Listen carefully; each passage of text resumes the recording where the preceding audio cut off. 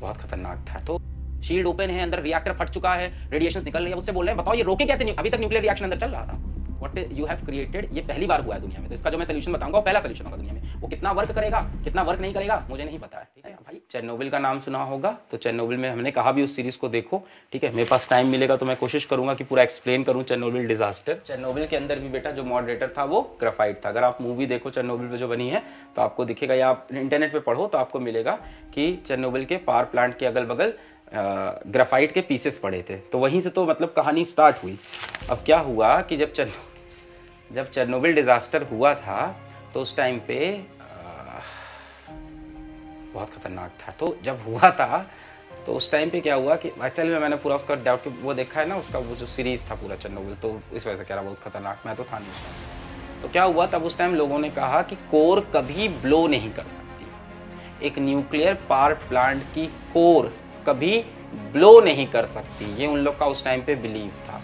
कोई scientist explain ही नहीं कर पा रहा था कि कोर ब्लो कर सकती है और इसीलिए चेरनोबिल एक्सप्लेन नहीं हो पा रहा था। लोग कह रहे थे कोर ब्लो लोग बड़े कॉन्फिडेंस में बैठे थे।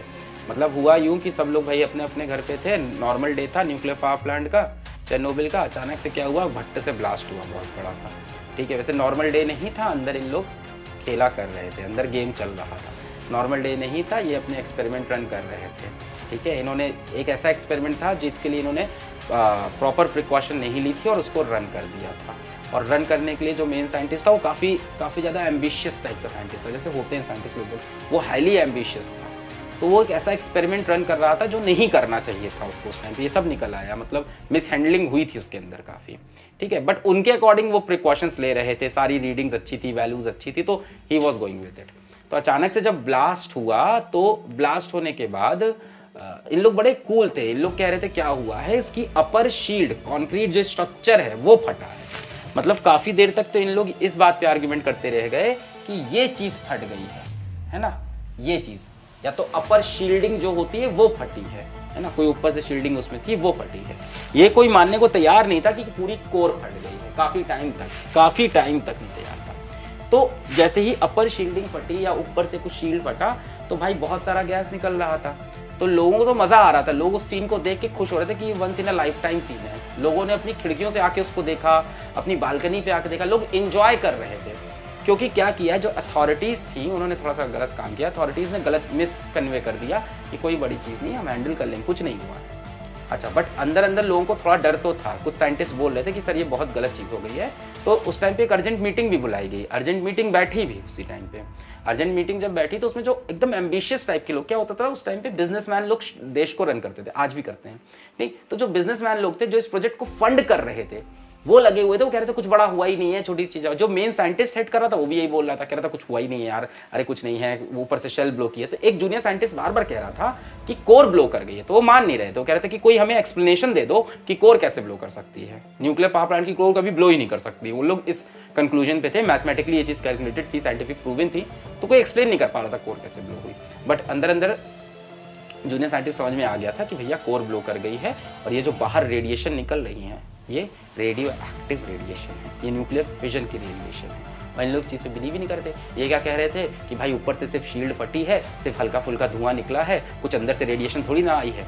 तब क्या हुआ कि एक, ये पूरा इंटरनेट पे डेटा मिल जाएगा, ये तो कहीं मूवी देखने की ज़रूरत नहीं है। तब क्या हुआ कि एक जो वर्कर था, बाहर, वो फायर ब्रिगेड वाले आ गए। भाई, आग तो लगी थी तो फायर ब्रिगेड वाले आके आग बुझा रहे थे। तो जब आग बुझाते बुझाते वो अंदर घुसने लगे फायर ब्रिगेड वाले। तो जैसे कुछ चीज़ें पड़ी थी पत्थर अत्थर टाइप की, है ना, वहाँ पे सब सब जल रही थी, सब में आग लगी थी तो उसने उसको बुझाया और हाथ से उठाया, हाथ से उठाया, उसका पूरा हाथ जल गया। तो वो जो मटेरियल था, वो गया स्टडी के लिए तो पता चला कि वो मटेरियल था ग्रेफाइट यहाँ से प्रूव हो गया कि ग्रेफाइट बाहर कैसे आ गया। ग्रेफाइट बाहर तभी आ सकता है जब मॉडरेटर बाहर आ गया। चेनोबिल का मॉडरेटर था ग्रेफाइट इसका मतलब श्योर है कि पूरी की पूरी कोर ब्लो की तो ये ग्रेफाइट पहचाना एक दूसरे साइंटिस्ट ने, जो दूसरे कोने में बैठा हुआ था देश के रिटायर्ड साइंटिस्ट था मतलब दूसरे डिफरेंट डिपार्टमेंट में काम कर रहा था। तो उसको पता चला ऐसा कुछ ब्लास्ट हुआ है। तो उसने जब रिपोर्ट पढ़ी तो उसने कहा कि ये जो वर्कर है, उसके हाथ में अच्छा किसी ने उस टाइम अभी तक ये टेस्ट नहीं हो गया था कि ग्रेफाइट है। है ना लैब से नहीं आई थी रिपोर्ट उसने कहा कि ये वर्कर जिस तरह से उस मटेरियल को डिस्क्राइब कर रहा है, जिसका हाथ जला है उस मटेरियल से, जो इसने डिस्क्रिप्शन दिया है black shiny that is graphite तब उसने कहा कि भाई कोर ब्लो की है, अब आप लोग एक्शन लो. फिर जाके साइट विज़िट की तो पता चला कोर ब्लो कर गई है. फिर भाई क्या, फिर तो तब भी इन लोगों ने बताया नहीं. अगल बगल के लोगों को तब भी नहीं पता चला। एक महीने, दो महीने तक लोगों को बताया ही नहीं गया था। क्यों नहीं बताया गया था? देश की इमेज स्टेक पे होती है। तो कितने लोग मरे, कितनी जानवर मरे, कितनी जनरेशन इफ़ेक्ट हुई इस न्यूक्लियर डिजास्टर से? मतलब दैट इज़ इसलिए मैं कह रहा हूँ, आप जब वो सीरीज़ देखोगे तो आपको फील होगा कि मतलब कि साइंस का नेगेटिव इम्पैक्ट एक्चुअल में क्या होता है और पार कितनी ख़राब चीज़ है। लोगों के पास, कुछ लोगों के पास पावर थी जिन्होंने लोगों को इवैक्यूएट नहीं कराया टाउन सिर्फ़ अपनी इमेज के लिए कि इस सिटी की इमेज खराब हो जाएगी। मतलब ऐसे समझ लो कि मिनिस्टर को लग रहा है चीफ मिनिस्टर के सामने इमेज खराब होगी चीफ मिनिस्टर को लग रहा है प्रेसिडेंट सामने इमेज खराब होगी कि हमारा स्टेट मैनेज नहीं है, हमारी सिटी मैनेज नहीं, हमारा मोहल्ला मैनेज नहीं है। और इस चक्कर में लाखों लोगों की जान को उन्होंने अच्छा जो चेनोबिल डिजास्टर की नेट पे डेटा है, कितने लोग मरे थे? तो शायद चौंतीस लोगों की उन्होंने रिपोर्ट की है तैंतीस से चौंतीस लोग विच इज़ मतलब एकदम एकदम ही बोगस रिपोर्ट है ये, है ना? हज़ारों की क्वांटिटीज में लोग डेथ हुई है जनरेशन बाई जनरेशन लोगों की डेथ हुई है। और बहुत दूर तक रेडिएशन गई है। ये रेडिएशन वहाँ से 400-400 किलोमीटर दूर अलग सिटीज़ में पहुँची है, उनको भी अफेक्ट की है है ना? मतलब एक टाइम पे तो इन लोग को ऐसा लगने लगा था कि हमारे दूसरे देश से रिलेशन खराब हो जाएँगे, कि रेडिएशन दूसरे देश तक ना पहुँच जाए तो उनसे रिलेशन खराब हो जाएँगे कि भाई आपकी तरफ़ से न्यूक्लियर रेडिएशन आ रही है। तो काफ़ी लेट हो गया इन लोग को प्रिकॉशनरी स्टेप लेने में। बाद में फिर रेडिएशन को बुझाने के लिए जो चीज़ें यूज़ की, वो भी आगे बताता हूँ, कैसे फिर उस रेडिएशन को कम किया गया इस चीज़ को कैसे संभाला गया। ठीक है? एक्चुअली क्या हुआ था, ये कंट्रोल रॉड को सही से मैनेज नहीं कर पाए थे। जो मेन डिजास्टर हुआ था, बहुत कॉम्प्लेक्स है एक्चुअली पूरा। कंट्रोल रॉड को चेन्नोबिल में मैनेज नहीं कर पाए थे। ठीक है? टेम्परेचर की इसकी पूरी एक रीडिंग होती है, वहाँ मैनेजमेंट खराब हो गया। ठीक है, ये एक्सपेरिमेंट कर रहे थे, कुछ लो प्रेशर पे करना चाह रहे थे, जो पॉसिबल नहीं था उस टाइम पे, ऐसा कुछ ये कोशिश कर रहे थे। मतलब ये एफिशिएंसी बढ़ाने के चक्कर में थे। हाईली एम्बिशियस जो लोग होते हैं, ठीक है।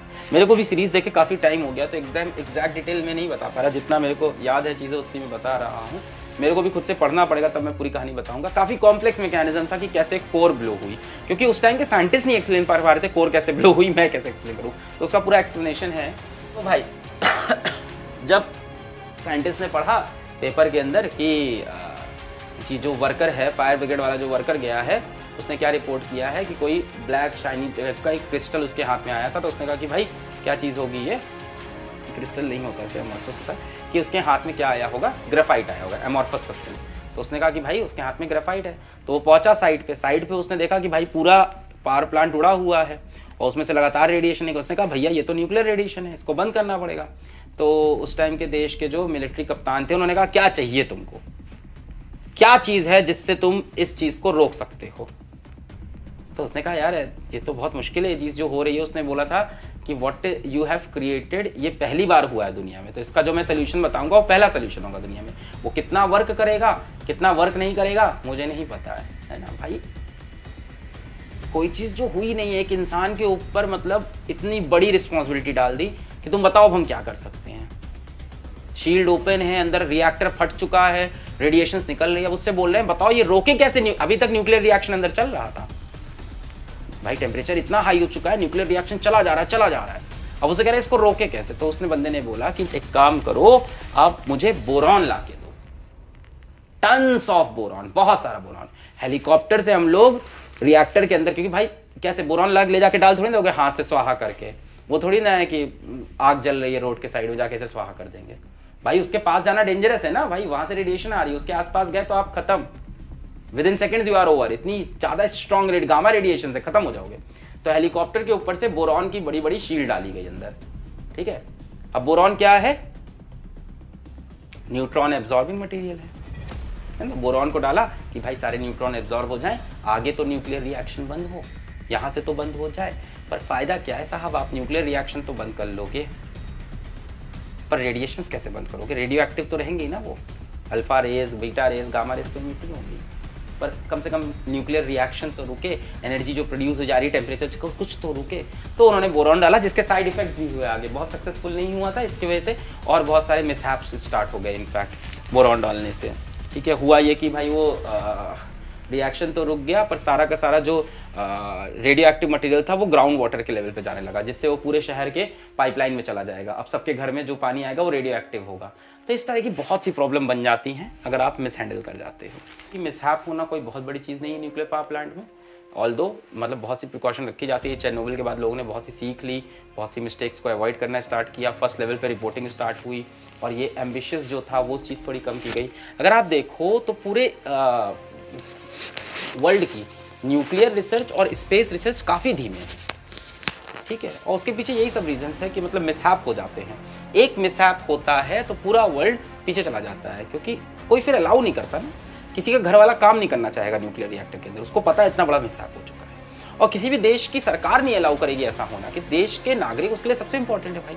डेवलपमेंट के लिए आप लोगों को सेक्रीफाइस नहीं कर सकते। इसीलिए स्पेस रिसर्च हमारी पीछे हो गई, है ना? वो कल्पना चावला वाला पूरा इंसिडेंट हुआ, उससे क्या हुआ? पूरा नासा अपना दस साल पीछे चला गया। अब उन्हें डर लग रहा है, वो कैसे अपने एस्ट्रॉनॉट को ऊपर भेजे? एस्ट्रॉनॉट तैयार है मरने को। एस्ट्रॉनॉट्स लोग तो मतलब दे आर क्रेजी कि हम जाएँगे वाले भाई ग्रेटर देन लाइफ चीज़ है, मर भी गए तो क्या हुआ? शहीद हो जाएँगे, हम तो भाई मतलब इंसानियत के लिए कुछ अलग ही एक्सप्लोर करने जा रहे हैं। बट पूरा पूरा देश ब्लेम करने लगता है, सरकारें गिर जाती हैं। तो इसीलिए क्या हो रहा था कि यूएस में तो फंडिंग इशू होते थे। मतलब आप देखो कितने दुख की बात है। कि हम लोग चाँद पे कब पहुँचे थे नाइनटीन में? और तब से अभी तक ह्यूमन वाला मार्स मिशन नहीं हुआ। कितनी मतलब वैसी बात है कि अभी तक हम मार्स पे पहुँच ही नहीं पाए। ह्यूमन अभी तक इंसान एक मैंड मिशन मान पे मार्स पे नहीं हो पाया, जबकि हम चाँद पे कब का पहुँच चुके हैं। तो यही सब होता है, जैसे ही कोई मिसहैप होता है, पूरा का पूरा कंट्री पूरा पूरा वर्ल्ड बहुत पीछे चला जाता है, फिर डर लगता है अगली बार ऐसा कोई स्टेप लेने पे। तो ये तो थी न्यूक्लियर फिजन की कहानी। इसके बाद इससे भी खतरनाक न्यूक्लियर एनर्जी का source which is nuclear fusion जिसको आज तक हम लोग हार्नेस नहीं कर पाए हैं, जिसका कोई भी पॉजिटिव यूज़ हम आज तक नहीं कर पाए हैं, सिर्फ़ नेगेटिव यूज़ हुआ है हाइड्रोजन बॉम्ब के अंदर। ठीक है? एटम बॉम्ब से भी खतरनाक हाइड्रोजन बॉम्ब फिजन बॉम्ब से भी खतरनाक फ्यूजन बॉम्ब तो पढ़ाई करते रहे। All the very best